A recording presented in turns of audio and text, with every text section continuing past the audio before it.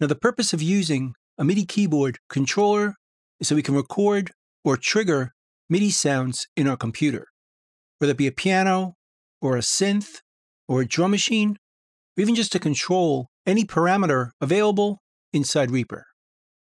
Now, there's most likely going to be two different options to choose from either a USB keyboard that plugs directly into your computer using a USB port, or an older keyboard that only has MIDI inputs or outputs available. In which case, you'll need either a computer audio interface that has MIDI connections or a dedicated MIDI device. But once it's set up, it should behave or work the same.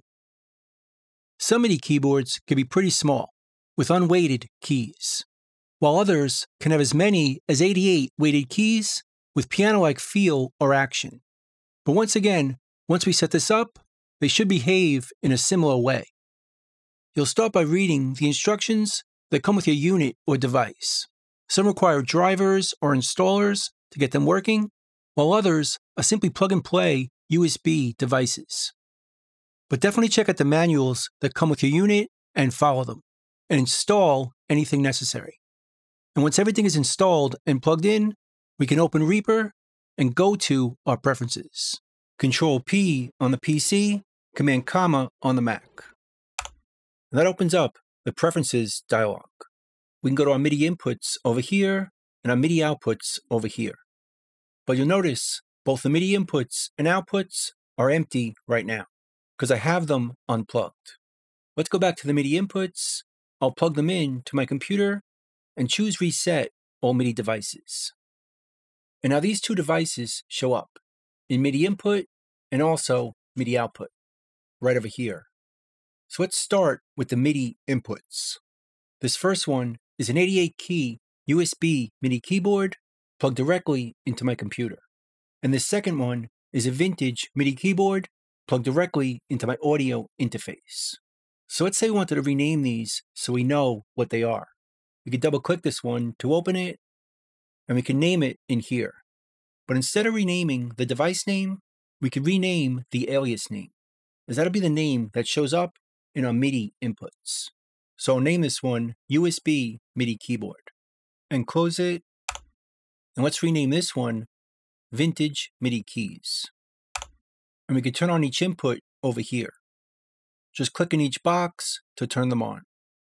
Notice that also turns on the All button which means if we choose the input to our track, all MIDI inputs, these inputs will all show up and will work at the same time.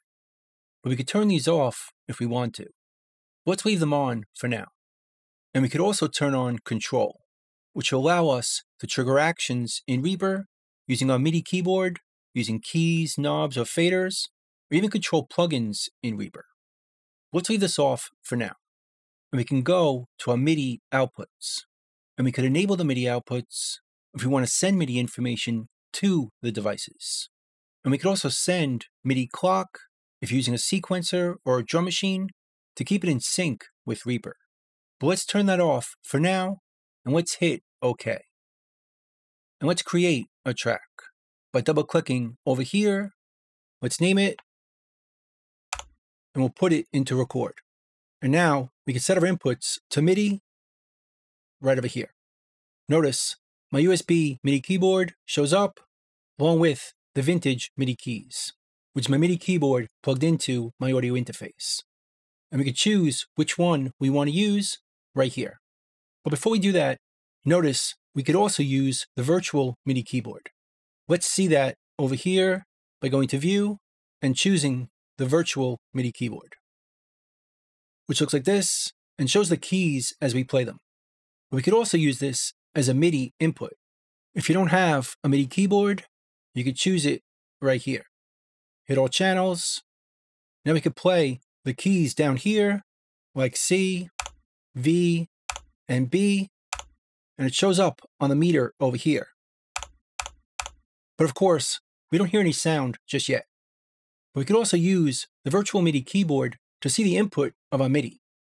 So let's switch this to one of our actual MIDI keyboards. Let's use the USB MIDI keyboard. And if we play that keyboard, we see level on this meter. And again, we see it down here, which key we're playing. But again, we're not hearing any sound just yet. But we could also choose the other one, the vintage MIDI keys, which is a MIDI keyboard plugged in to my audio interface. Now if we play that keyboard, again, we see MIDI input over here and also down over here. And we could also choose all MIDI inputs. Like I mentioned earlier, if we choose all in the preferences, we could hit any of the keyboards and they'll all work. So I could hit my USB MIDI keyboard, it works. I could hit my vintage MIDI keyboard, and it works. And we could also use a computer keyboard, and that works as well. But in order to hear sound on this track, we need to add a virtual MIDI instrument to the effects. Let's choose this, and let's search in our filter for a synth. We could choose the Reasynth plugin right here, which comes with Reaper, so I know you have it. Double click it, and it looks like this. Let's make it more of a sawtooth wave. Now if we play any of our keyboards, we now hear that synth, in addition to seeing it on the meter or seeing it down here. And we could also do it on my vintage MIDI keyboard as well. Or down here with our computer keyboard. So a MIDI is working in our system. So now we can start recording just like this.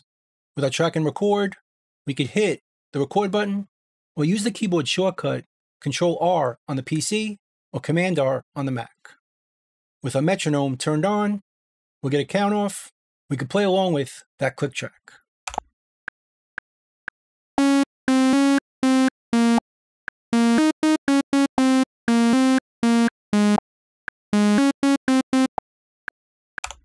And we're done, hit stop. We can take it out of record. And we can play back our MIDI part, which is now triggering our VST instrument.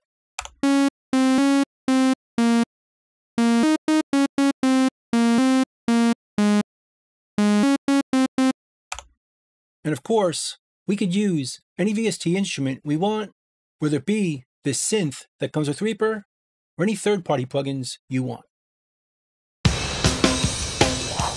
So that's pretty much it. That's using a MIDI keyboard controller in Reaper. Hope you learned something, hope you could use it, and I'll see you next time. Thanks.